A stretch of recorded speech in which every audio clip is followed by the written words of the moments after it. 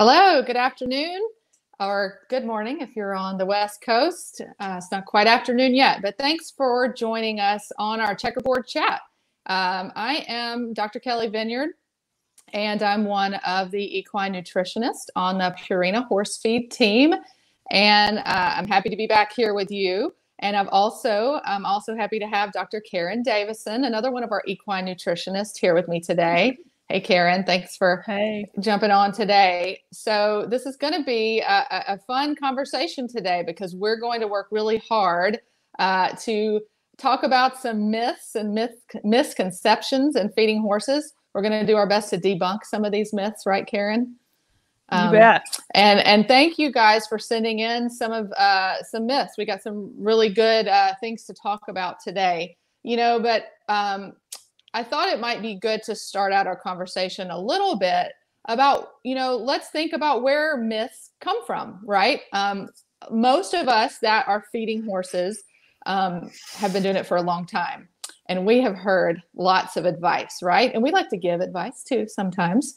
And sometimes uh, advice uh, can be good, and sometimes it uh, can be not so good. And so, I just wanted to like talk a little bit about where some of these myths might come from, where some advice might come from, and, and encourage you to think about, you know, considering the source when you um, when you take advice and, and questioning whether or not could this be a myth, could could this be something that's been passed down, you know, without a lot of scientific uh, backing to it. So I think my favorite myth, and Karen, think about your favorite myth, because this the, the one or the one source of a myth that I hear a lot that I want to just um, uh, word of mouth. Okay, so word of mouth uh, about uh, or antidotal information. There's it's like a double-edged sword. Sometimes antidotal uh, information is can actually be very useful, but oftentimes uh, you don't have enough information to know uh, whether or not that uh, piece of advice was specific to a certain situation or if it can be applied you know across the board. So my favorite you know my trainer uh, feeds xyz supplement because it calms horses. Um, okay that would be kind of an anecdotal uh, example of my trainer said to feed this or uh, i read this in an internet chat room. Somebody's uh, had really good uh, uh, experience with this certain feeding regimen and I'm going to try it. Um, that's a, an example of word of mouth. Uh, what's another example, Karen, uh, of where myths well, come from? kind of along those lines, but it, it's kind of like, well, I that's just what I've always done, or that's what my dad or my granddad did. And you know, I always think when people come up with that, like, well, that's what my dad always did, or what my dad granddad did. I always think about that the very first time I ever saw a horse transported was in my grandfather's pickup truck when they backed up to a high spot in the ground and jumped the horse up in the back of the truck. That's how they hauled horses around. So if I did things the way my grandfather did, that's how I would show up at the rodeo. you know, it's just riding around. You might be pulled over the by the cops if you yeah. did that now. Uh, it depends on what state you're in. so. but, yeah. but the idea that, you know, if it worked for dad or granddad, it's good enough for me. And and there's always things in there that have some merit but the idea that we've also got advances in knowledge and hopefully we've we've learned and and and things change over time and it's kind of an interesting balance because there are what we call myths or old wives tales or or those kind of things that sometimes they circle back around and you find some scientific proof mm-hmm. that hey that actually had some basis i think the thing that scares me the most in today's world is is something you alluded to is like where do you get your information? And it used to be we would get it from word of mouth like i'd be at a horse show you'd be at a horse show. I'd look at your horse and go oh your horse looks pretty good. What do you do? And you might tell me. But when we're on the internet in a chat room and your people have a lot of opinions you can't even see their horses to know like do you really want to do what mm-hmm. they do? Right. and then i know you and i have the experience that as nutritionists there's times we go look at some of that recommendation and we kind of run the numbers and crunch it a little bit and go, oh my goodness, that's so misguided. That's so scary that people are going to follow that advice because whatever was just, you know, whatever that advice is, it might make your horse fat and shiny, but they're going to have an inverted calcium phosphorus ratio. And if you do that over time, that could cause some problems. So just that idea of that kind of unvetted or unchecked. Um, mm-hmm. Um, you know, just following somebody's opinion when you really don't know if they know any more than you do. so where what so if someone were to to come across a piece of advice on the internet um, or from word of mouth how could they go about confirming that that that's actually uh, something that would be recommended? I mean for me number one you can always ask your veterinarian right about feeding your horse. Um, that's a really good place to start and most people have a horse vet um, I would also say you can always ask uh, someone like a, a, a, nutritionist or someone who works for a feed company that has education in, in nutrition. Um, and then also go to, you know, your local university. Uh, the extension agents are a really good source of information, either, you know, in person or, or on their website. Um, are there some other good information sources that people can, that you can think of, Karen, that people can refer to? Well, I, for me, obviously, I have the most faith in in, in us. So I would say you can always email. Uh, you go to the Purina dot purinamills.com, go to the website and email or call our 800 number. It's on every package or every piece of material that we have out there is, is to call our 800 number. Um, and, you know, expect that you would get honest advice and, and information that was science based and it, it wouldn't, you know, it's not like we're going to try to sell them a Purina product if it doesn't fit. So um, just find a good reliable source. I, I there's yeah. a there's a lot of them out there. I would just say do your due diligence and maybe you know it's kind, kind of like sometimes going to the doctor get that second opinion yeah. before you change your horse's whole diet. Take that extra step before diving in. So okay well let's let's dive in and kind of maybe set the record straight on some of these popular myths. I'm checking out over here in the chat. We've got a lot of people um, tuning in from all over the country uh, New Jersey, Michigan, Ohio, North Carolina. It's great to see you guys. Um, so earlier we had um, solicited some some myths, and I think one of the top requests we got, Karen, was was this myth, which is too much protein or too much alfalfa will make your horse hot. I I, I bought into this myth at one point, and my uh, horse riding career uh, before I went to school and, and kind of learned a little bit more about where this came from. So, so yeah, let's break this down a bit. I mean, this poor guy uh, is coming off his horse. I don't think it's because he fed his horse too much alfalfa, though, right?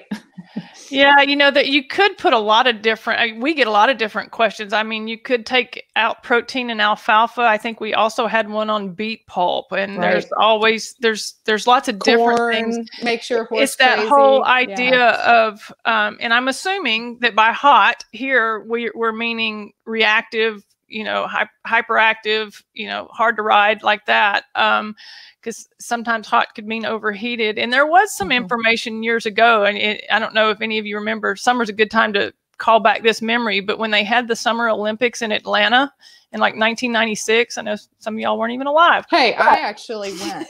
I, you went? I, yeah, I did. I was yeah. there. Yeah. Yeah. And and so there was this conversation that started there about too much protein making horses hot or being hard on athletes. And it came from, you know, those horses working in the heat and humidity. And the thing is, it's kind of that word of mouth thing. It got translated, and you have a, you know, a, a, an Olympic level three day event horse who somebody's you know said if you feed them high percent protein in their feed that they're going to overheat they're going to have trouble staying hydrated all those things. And that may have been true for that level of horse but when you translate you know that horse was eating maybe eight pounds of feed a day 10 pounds of feed a day and at 10% protein at 10 pounds of feed he gets a pound of protein a day. But if you translate that back and you go, I have my weekend horse that I trail ride once a month, and but I'm going to only feed that much percent protein, you end up with much less protein intake. So there is a little bit of truth in that myth in that in a high end performance horse, if you feed an over, I mean, a, significantly protein. over a bunch right. of of protein. They do excrete a lot of water trying to clear out that wasted mm-hmm. protein, especially when it's coming from the hay, like alfalfa. Because everybody who's ever cleaned a stall in a horse that's eating straight alfalfa hay, you know where a lot of that protein goes, right? Oh, you it can smell it. Yeah. Oh yeah, it ends up it, they excrete it in the urine, and um, they have to drink a lot of water to do that. So there is that end of it, But for most of us, a normal, healthy horse, um, I've I have fed straight alfalfa in my life. I've fed straight grass hay. I've fed a combination of the two. And what generally happens is not the protein in alfalfa that might make a horse quote hot or hyperactive. It's just that 20 pounds of alfalfa has more calories in it right. than 20 pounds of a Bermuda grass hay or an orchard grass hay. So if you fed the same amount, you give them more calories. Some horses will just get fat which would be more insulation, which might make them hotter and you know if they're if they're overweight right. in the heat and humidity.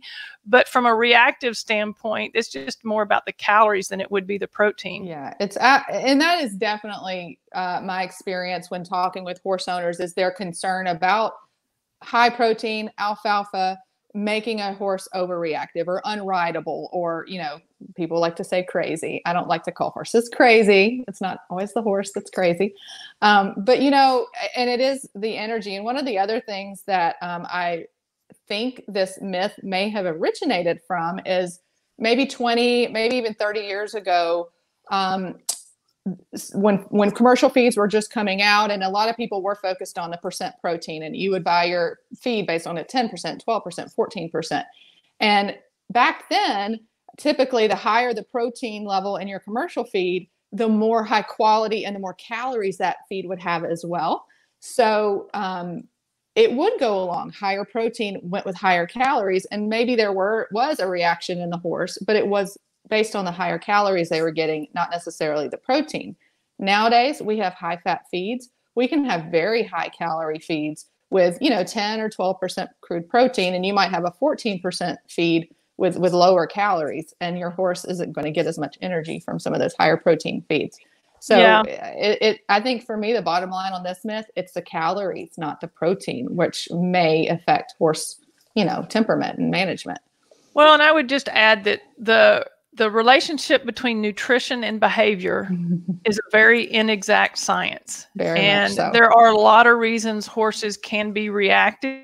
It could be a bad fitting saddle. It could be a bit that's pinching, you know, pinching their mouth. It could be a number of things. Uh, you know, just need a little training, need a little, need a little discipline, those kind of things, or whatever. So, there are some things nutritionally that we found over time that can help kind of modulate or blunt that reactivity like you know higher fat diets may in some horses make them less reactive compared to a horse eating that same amount of calories as corn and oats. Um, but that's again not you, are not going to make a thoroughbred racehorse a kid's pony by changing their their diet like that. Right. Uh, uh, unfortunately not. It's not going to happen. All right let's see if we have any anybody else have any comments about the the high protein myth? I mean, I, I really do think you can insert, like you said, other. You hear this beet pulp, for example, or other ingredients, and and and it all. Uh, I don't know that there's any evidence that a certain ingredient has a such a strong line between behavior and, and that ingredient. It's kind of what you were saying. So mm-hmm. that's yeah, for sure. overfeeding for the level of activity would probably be one of the bigger contributors That's to any right. of that. Regardless of the ingredients in that. I say wet saddle blankets cure a lot of behavior issues, is what I've always been told. That's right. So, okay, myth number two. Um, let's talk about this is a good one. Um, horses should be fed like Mother Nature intended. So, mother nature you know that is a, a lofty goal right? It's it's healthy it's good. That's um you know horses were evolved to to eat grass. So why is this a myth karen? Why is it a myth that that's how we should always feed horses only? Well, well i like to ask people sometimes when when that I, boy if i had a dollar for every time i'd been told that or, or asked that question I, I would have more dollars.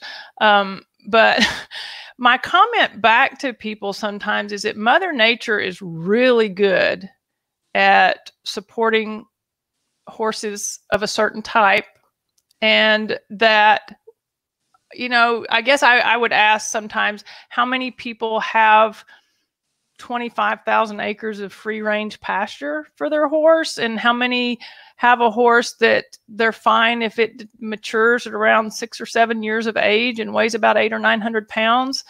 And, you know, maybe lives into its early teens and you know that's kind of what mother mother nature supports. And as long as that horse is out in mother nature and you know all they have to do is walk around and try to find enough to eat today to make it to another day and maybe outrun the fastest thing trying to eat them on any given day um, mother nature's pretty good at that. But I, mother nature's not very good at supporting you know an 18 hand draft horse or a you know uh, NFR barrel horse or whatever, you know. So once we take those horses out of Mother Nature and the environment changes and the demands we place on them change, I think we just have to help support those higher demands in those different environments and, and Mother Nature. You know, the idea that I can get it done in in my little small pasture or my bale of hay, and that that means Mother Nature. That's not the whole right. picture. And, and, and, I think that's all really, really good points because we are not managing horses the way that Mother Nature would be managing them um, mo- in most cases.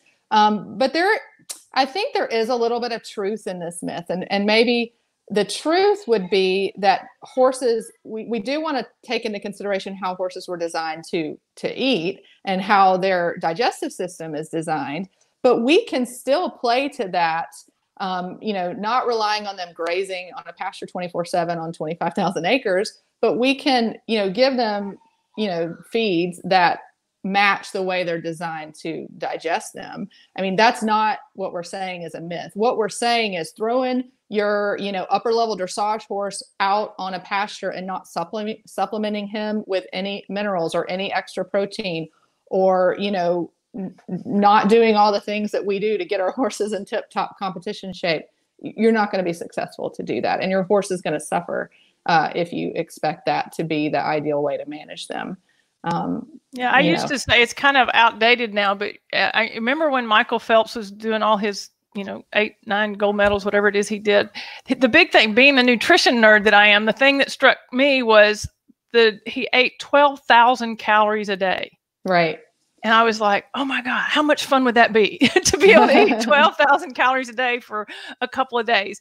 But the point for me was, again, as a nutrition nerd, I looked at that and go, what if, like, what am I supposed to eat a day? A couple thousand calories a day. Not what do I eat? What am I supposed to eat a mm-hmm. day? But what if Michael Phelps ate like me? Would he win all those gold medals? Could he have gone back to back races day after day? Absolutely not. Right. Now, if mm-hmm. I ate like Michael Phelps, would I be able to win eight gold? No, I would not, and I would be huge. So it's it's about feeding your horse to achieve the demands placed on them, and right. and I think that's sometimes where we get get mistaken is is that our horses we're asking them to do different things, and so we you know if if they're a pasture ornament, we have ways to feed them like they're a pasture ornament. If they're a high performance horse, there's different ways to feed them to support high performance. Right. Well, I think that's a bit of a good segue into another one of the myths that was brought up um, and uh, when we were kind of uh, asking our um, our fans to tell us some myths. I think Kristen wanted to know about all horses need a low NSC diet.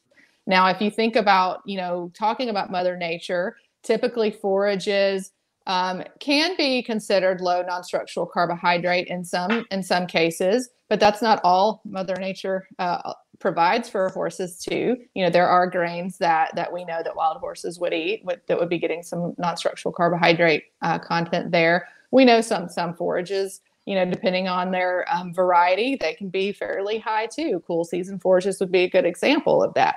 So all horses need a low non-structural carbohydrate diet. For me, you kind of have to break this down.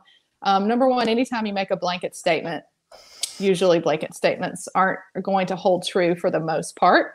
Um, I would say some horses uh, need a low non-structural carbohydrate diet, and those are the horses that have a diagnosed medical condition. That would be like insulin resistance or insulin dysregulation. Um, you know, perhaps you're managing a horse with PSSM type one. Um, there are certain conditions that we know uh, from the, the horses do better with a low non-structural carbohydrate diet. But what about a racehorse, Karen? What about a horse that's in training? Uh, you know, we got the two-year-old training sale going on in, in Florida and in, in Ocala. They're all trying to go win the Derby, you know, at some point in their career. They want to be successful on the track. What about those horses? Do they need a low NSC diet? Know, they will struggle with a low NSC diet because the starches and the sugars are what fill the muscle glycogen stores, and that's the fuel that uh, uh muscle burns to do fast work. And you can't get that with fiber and fat. That won't fill that fuel tank in those muscles fast enough for a horse like a racehorse or a horse that's doing any high intensity work repetitively. Um, so again, that's more of that feed the horse to what they're doing, um, that, and not have that that blanket statement across the board. In fact, you know, years ago, because of the way human athletes work, and there's a whole thing in human athlete athletes where they do glycogen super compensation. It's where if you know, especially marathon runners or high end athletes, they would try to manipulate their muscles through their diet and their exercise to really deplete that muscle glycogen and then eat a bunch of starch and carbs and try to fill that overfill that tank so that they have more of that muscle energy stored so that they don't run out of gas at the end of the race and they don't run out of fuel in that fuel tank so to speak we found that didn't work very well in horses because they just yeah. their muscles Can't don't super compensate well yeah. and they don't do very well because when you take anything to an extreme so even like this low nsc diet i have gotten calls from people when they have found very extreme ways to go very low NSC. And sometimes it's well intentioned to your point. They may have a horse with metabolic syndrome, whatever. They're, the, the goal is good, but they carried it too far. And we know that there's certain tissues like brain tissue and hoof tissues that preferentially need glucose yes. to, to be at their optimum. And so you'll end up, if you're not careful, with this horse who stands over in the corner and the hooves don't grow very fast and he's kind of lethargic and depressed because that's what we saw in the horses when we tried to actually decrease their carbs enough to get them to burn all their glycogen out to try to super compensate them. These horses got depressed, they got mad, they didn't want to work because their their brain was a little bit, you know, it was missing out on some energy. So I think it's like anything when you talk about nutrition, it's find that range that's good and, and for that animal and low is kind of an arbitrary term. Right. Because what is low? Where people I think I feel like they don't understand what the term low means and part of it is because we don't uh, from the scientific community ex- or horse nutrition community nobody can really agree on what the definition of low is. But you know for me uh, a low carbohydrate diet you know if you're looking at the whole are you looking at the whole diet or are you looking at the concentrate? That's the first question to ask because it might be different when you're talking about the whole diet versus a, a concentrate because you may feed different amounts of that concentrate um, but horses can and do digest carbohydrates really efficiently. Um, but there is a threshold, and, and you know you don't want to go Absolutely. above that threshold, obviously. So if you know we don't want to feed 25 pounds of corn in one feeding, that's way high, and and and obviously, but they can they handle a little bit? Sure, they can, and and and and it depends on where that carbohydrate, uh, you know, how much you're feeding and and how much is in what you're feeding but it, it actually is one of those things that um, low is, is relative. I don't know. What do we have a number for what low should be? I always think about in the forage, you know, we kind of target that 12% uh, sugar plus starch when we're trying to feed a horse with metabolic condition conditions. I'm targeting a 12% or below for this horse with insulin resistance. But if you have a horse that doesn't have a metabolic condition, feeding more than that is safe for those horses. Yeah, and I always get a little. It's, it's the same kind of conversation we were having around protein a little bit. I get worried when you focus on a percent, right, and you don't account for how much you eat in a meal. And I, I think we have a graphic. It's about protein and it's about uh, uh enrich a ration balancer, but it still gives that idea of you got to do a little bit of math because I've had people that will say that I'm feeding a, you know, my feed that's 10% starch and sugar is safer than this other feed that's 13% starch and sugar. But when mm-hmm. you account for the amount you feed, it's actually how much starch and sugar is in that meal. So, like when you look at this graphic, this is again, it's on protein, but it could be on anything else. It's just doing the math. So, in a ration balancer like Enrich Plus, its uh, one pound feeding rate meets all their protein, vitamins, and minerals uh, that are missing in an all forage diet. So back to that Mother Nature, Mother Nature with a little support, eh, they absolutely need some additional protein, vitamins, and minerals on an all forage diet. But a lot of people look at the percent protein on that bag and get concerned and go, oh my gosh, I can't feed 32% protein to my horse. And if you look at the graphic, you can see that if you feed one pound of it, that gives you 145 grams of protein. And, and, how do you get that one pound? You convert that to kilograms, which is like 0.45 times 32%, right? And that gives you 145. Yeah, there you go. Or, uh, and that's what we did here for me. I would, yeah. you know, I do one pound times 0.32%. That gives me 0.32 pounds of protein. Whereas three pounds of a 10% give you 0.3 pounds of protein. So you multiply the number of pounds times the percentage and it gives you an amount. Whether you calculate it in grams or whether you calculate it yep. in pounds is is not it doesn't matter. It's just the fact that i wouldn't feed six pounds of enrich. There's no reason to do that. But if it's if a horse doesn't need six pounds, they still need a certain level of protein, minimum amount of protein, and it takes that higher percentage to get that done. So to walk that back around again to that NSC question, I get there are some generalities of like, oh, 10 to 12% starch plus sugar feels like the safer range, but you've got to take into account the size of the meal it's yeah. really, really important. And you know, the research we did when we did WellSolve low starch, it wasn't just about the percent starch and sugar or even the total amount, it was the amount in that meal. And so we learned that you could feed the same amount of starch and sugar in a four pound meal as you do in a two pound meal. And the insulin response to the four pound meal is greater just because of the volume of the meal. So when you're really taking care of those really sensitive horses, it's important to account for everything, not just hit a certain percent starch and sugar number. Right. So, yeah, don't get hung up on percentages. Take it a step further and do the math. Do the math. That's right. That's right. Um, and I think uh, maybe we have, uh, let's move on to another myth. Um, and it, it, still kind of falls along the theme, I think, about, um, you know, feeding horses kind of like Mother Nature or naturally. And and the myth is all horses can get the mineral, all the minerals they need from a mineral block. Now, when, when I say a mineral block, uh, I'm talking about that red salt block that everybody, you know, has out in the pasture, or you know, sometimes there are other colors, but most of the time they're red. And you know, a lot of us think, well, I'm going to buy the red one because I get a little bonus. I'm getting some minerals in there. When I buy the white salt blocks, that's just salt, right? Well, actually, um, with these types of blocks that are hard, uh, these red salt blocks are, are salt blocks. That's that that.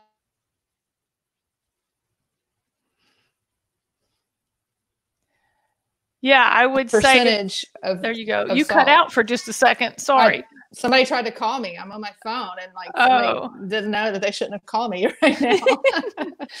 so go ahead. No, I was just saying that those red salt blocks are a very small percentage of minerals. Uh, and, and here it is in this graphic, it, it shows that, you know, it takes, if a horse were to need to you to get his copper requirement met with this trace mineralized salt block, he would need to eat one and a half pounds per day of this block. And, you know, no horse is going to eat a pound and a half of that in a day. Uh, unless not. they ha- unless they have some kind of stereotypy or something, but um, they uh, th- those are salt blocks too. You know, they're sprinkled in with a little bit of mineral. Yeah, my my highly technical way of explaining that is if it's as hard as a salt block, it's a salt block. It's a salt block. It's not yeah. a true mineral block, and they can't eat enough. And not only it's it's trace amounts of trace minerals, so that leaves out your macro minerals like ca- uh, calcium and phosphorus, which are also necessary for horses. Um, so it you know cattle have rougher tongues and they have a different mineral need than horses and they might be helpful in a cattle program but i still think the cattle nutritionist would tell you you need a more complete balanced mineral. Um, so yeah, it doesn't matter what color block you get. If it's hard as a salt block, and when you look at the tag, you'll find they're 95 to 98% salt, regardless of what color they are. Um, I think we have a video of a horse eating a, a, mineral like our horse mineral, our free balance horse mineral is actually the opposite. It's 5% salt and 95% mineral, including the macro minerals. So a horse can eat a, a true mineral block will be softer than a trace mineralized salt block. That's right. And I, I think a lot of people use these salt blocks kind of like an insurance policy because it, it, does make them feel like, you know, maybe you have an easy keeper out in the pasture. They keep, you know, good body weight when they're just eating forage alone. But the myth would be that this salt, this red mineral block is providing what they need. So what's a better alternative to the red mineral block is kind of to provide their minerals and extra needs. Yeah, for me, the very minimum for a horse on an all forage or free choice pasture diet would be a, a, free balance mineral. That'd be the very minimum. if you've got good green pasture and your horse isn't doing anything, free balance mineral and an additional salt block, especially those horses that we call uh, marginally managed, the ones you don't want to go out and feed or see every day.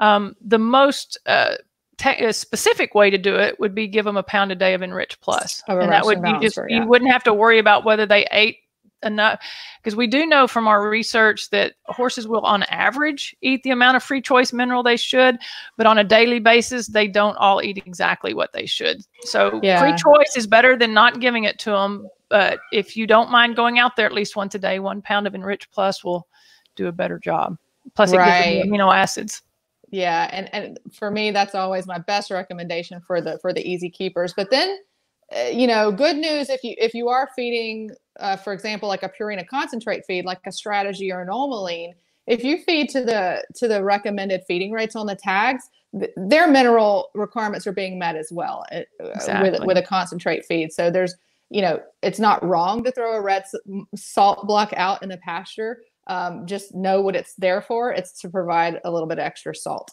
not yeah. necessarily minerals. Um, and you know, I would even add too. It's it's it's hot. I'm in Florida. We're riding horses. They're sweating.